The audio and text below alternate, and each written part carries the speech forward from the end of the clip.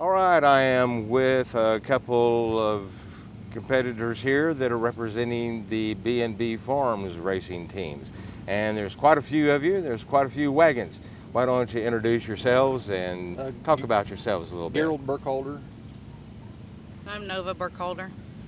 All right, and I understand both of you are driving in today's competition, possibly tomorrow too. Yes, I'm driving the Classic and one buckboard. I'll drive a buckboard and a mini land rush. All right, and how long have you two been involved in this sport? Uh, this will be my 24th year. Wow, so you've got lots of experience. Yeah, okay.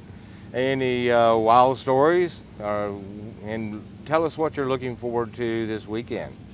well, this is the second go around of the Triple Crown, and uh, we won the first one, so we're hoping to win it this weekend to go to the third one. All right. And then hopefully wind up in Clinton. Yep, hopefully. All we right. won. We won Clinton two years ago, Okay. and buckboard in 2012. Wow. Excellent. And what about yourself? Have you got any ribbons, trophies, belt buckles? I don't know what awards I've are given got away. belt buckles. Um, the year I rookied in, I made it in the runoff with my 46s, so I was pretty proud of that. Great, great. All right, now there's quite a few horses lined up here. Uh, would you like to talk a little bit about the horses that you two will be running? Um, I'll be running these two 46s. They'll be in the mini classic. Oh, okay, that's over there by the flatbed. No, it's right here. This red one and that black. Oh, okay. Yeah. Gotcha. Those two will be my mini classic. All right. And then this one and this one will be my buckboard team. Okay. So, is there anything special about them? Have they been uh, bred and especially trained? Um, Uh, lots of training, and this one here, he won the nationals in Clinton with another team All right. about three years ago. Okay. Well, I wouldn't think that the 56s would be American quarter horses. no, they're Alright. uh, they're pony crosses. Okay. Uh, this Palomino pony behind her is a, uh quarter horse pony cross that we won with in 2012. Okay. okay. And the bay pony with the turquoise holders by the tree is the other one we won with in 2012. Okay. Do you find that American quarter horses seem to be more suited for this type of course? now, the track itself looks to be pretty long. You would think that maybe going with thoroughbreds would. I guess uh, that's everybody's opinion, but we run quarter horses. I've never had luck with thoroughbreds. A lot of people do run thoroughbreds. Yes. Uh, the way we condition them, thoroughbreds never held up for us. And generally, you don't see them being used a whole lot as draft horses. No. No. Right. I mean, we can pleasure drive ours, or Yes. uh, we work ours six days a week, one day off. Wow. So they're pretty used to the type of the work that they are asked, Uh, being asked to do. Yeah, this here is pretty easy for them for what they do at home. Is that right? What Yeah. do they do at home? Uh, we pull a sled. We got a mile track, and we try to get them up pulling that sled a mile. I see. And the days that they're not off, they're leading six mile. They're going six mile just on the leader. Wow. Uh, that's just kind of what we've been doing, and that's kind of kept us competitive. Okay. Now we've had quite a bit of rain. Some of the area out here is a tad bit swampy, you might say. The track looks in fair condition itself, but even during the uh, barrel racing events, uh, before we got the rain, the heavy rain, it was still slippery enough out there where some of the horses lost their footing around one of the bales. Is that going to be a problem in today's races? It don't seem, in my opinion, don't seem like the teams slip as much as like the outriding horses. That's where you'll get the slippies. The teams seem to hold their own. Yes, yes. And you know, that's something that I failed to mention in the other interviews that I was doing.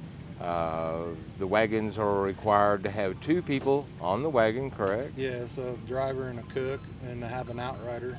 And then an outrider. Yes. yes. What is the purpose of the outrider? Uh, he throws the stove in and it's got to pass you and beat you to the finish line. Okay. This is one of the wagons that will be competing today and tomorrow. And It looks like a buckboard, but it looks to be quite a bit smaller. Yes, it's a land rush wagon, it like a mini classic. Uh, it's got to weigh 300 pounds. 300 pounds. And Okay. they'll have 46 inch ponies on here. All right. And you will be driving this one? Yes. Okay. Your DoubleTree here looks to be uh, custom manufactured. Yeah, about all the wagons are custom made. The, the tongues are.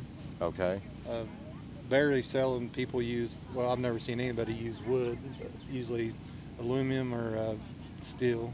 Yes, make it as light as possible. Yeah. Now in the design of this wagon, I see it also uses a uh, mesh floor, which uh, certainly lightens the wagon up Yeah, quite a bit. Are there other engineering aspects that has gone into this wagon uh, that has been learned from your many years of extensive racing competition? Uh, not really. Uh, just you want to keep it as close to the 300 pounds you can, Okay. and you know, lighter the better. Yes. That's the reason it's got a mesh floor in it. Just um, you know, if you put a wooden floor in it, add weight. Right. And you're using PVC tubing, I For guess, the- uh, yeah. as the bows on your canopy there. Now, is the canopy required? On Uh, yeah, on the on the classic and the land rush, it's required. Uh, buckboards just have a sign. Okay. So we've covered weight and the look of it, and uh, these also have wooden wheels with the steel rims. Yes. Uh, I guess those are all requirements for them for this class as well. Yes. Okay. So pretty much similar uh, with these wagons over here, with the exception that I believe in the back where that fella is uh, leaning over it right now. Yeah, That is a buckboard, I would presume. that's the buckboard you run with 52 inch ponies. Okay.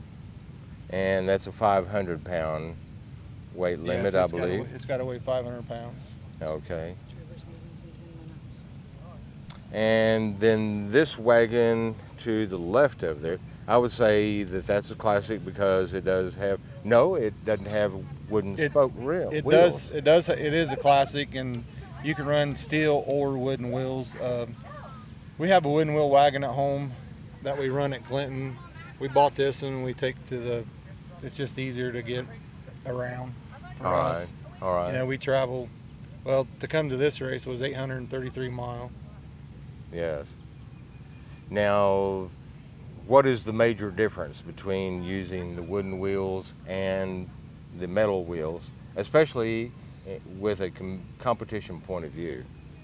Uh, I, I don't really know the, the taller the wheel is, you know, I think it's easier to turn. Our wheels at home are a lot bigger. This one here pulls a little bit harder. The wheels are a little bit wider, so you're just covering more ground. Yes. Um, other than that, I guess it's just anybody's. Is there any difference in weight and also in durability? Because uh, there Uh, are accidents that happen yeah, every once uh, in a while. The steel uh, wheels, they won't break. The wooden wheel, that's one reason we don't run it as much anymore because they will break if you. Yes. you And humidity affects them as well. What's that? The hum- the air uh, being Oh, humid yeah, or really dry, and stuff, that can affect the wheels. Like if yeah, you were to go get out too dry, to they'll get loose. yes, you go. I was going to say if you go out to like a place like Chandler, Arizona, where it's going to be uh, really dry, uh, might have a problem with your spokes being loosened up because they lose the moisture in yeah, the wood. yeah, I'd say so. Okay. Well, are there any other wagons that are uh, in the team that are a little bit different? Uh, Uh, no, the buckboards and the land rushes all look okay. the same. Okay. Uh, talked to one of the competitors, and she's going to be driving something that looks like an animal uh, powered or drawn go kart. Yeah, uh, that's uh, what they they call it the beat jeep. Uh, it's just something they do here, different. Okay. All right. Yeah, real low, Yeah, real, real small low. wheels. Yeah, it's pretty fun to watch. All right. Well, is there anything else about this sport and also the What About Bob uh, celebration competition itself that uh, you think the people should know I'm trying to educate my viewers out here as well as myself. Some of the questions I ask are to educate myself so I do a better job of passing that along. And then I don't ask such stupid questions next time I come to one of these things. I don't know. We Uh, drive 15 hours to come to this race because we enjoy it so much.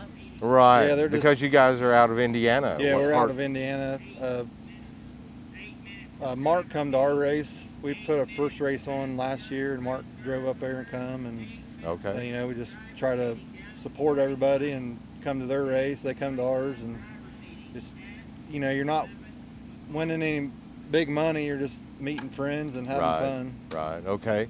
Are you planning on having having an annual race up in Indiana? Yes, now? we're having one uh, the end of July, the 28th, 29th, and the 30th.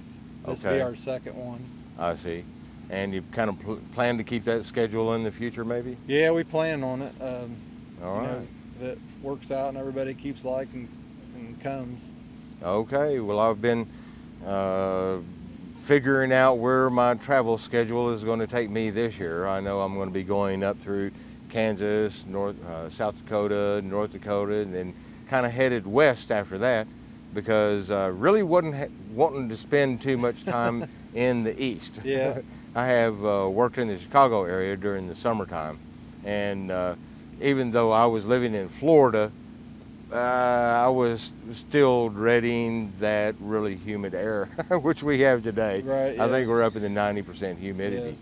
today. So, uh, all right, well, I'm keep that in mind, and uh, I've also now got it on film, so I have a better idea of how to set next year's schedule. All right, thank you. All right, well, thank you very much.